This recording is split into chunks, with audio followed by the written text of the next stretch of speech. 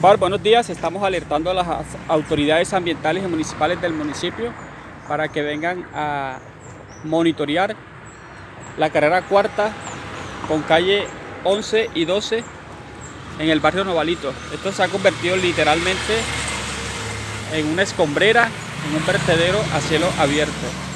Hacemos un llamamiento a las autoridades ambientales a que vengan a poner coto a esta degradación ambiental que está padeciendo el sector.